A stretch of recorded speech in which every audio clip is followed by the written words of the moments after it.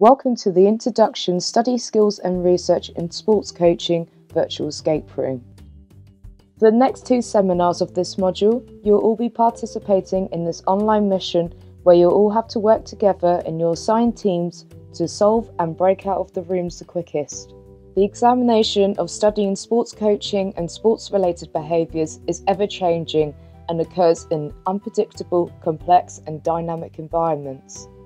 For these reasons, our understanding of sports coaching is never complete and requires us to keep informed with current practice and new information in this area.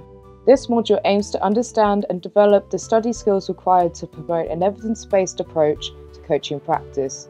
A focus will be placed on developing a range of written, verbal, and digital platform skills to enable communication to scientific and non scientific audiences. You'll need to explore scientific methods, research design, and how to manage, explore, analyse, and interpret different types of information.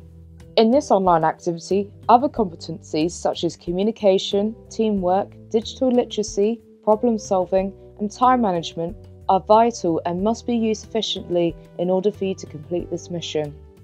You have been tasked as coaches to help the radiologists to uncover and solve the mystery of why so many of your gymnasts have been injuring themselves. Research, which is most commonly defined as the process of discovery and enhancement of human knowledge, often starts with a question or a problem that needs investigating. That's why the escape room concept comes into play here. You all may have heard of what an escape room is. A virtual escape room is the same thing, but online. The purpose of an escape room is that you're expected to go through the evidence and clues to solve the puzzle while applying the necessary competencies to break out of the room as fast as you can to win the game. You and your peers will be assigned into teams within the Microsoft Teams platform. Each team has four rooms to break out of but you must start with room 1.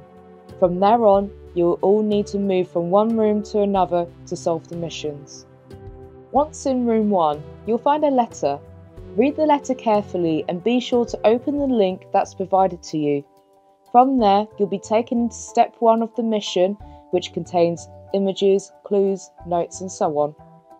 Your team must complete step 1 in order to proceed to step 2, where you must crack the code. When your team has found the code, use it to unlock the letter in room 2 and continue on with your mission. Remember, the team that solves the puzzles and breaks out the quickest wins. Help the radiologist to solve the mysterious injuries. Good luck, coaches.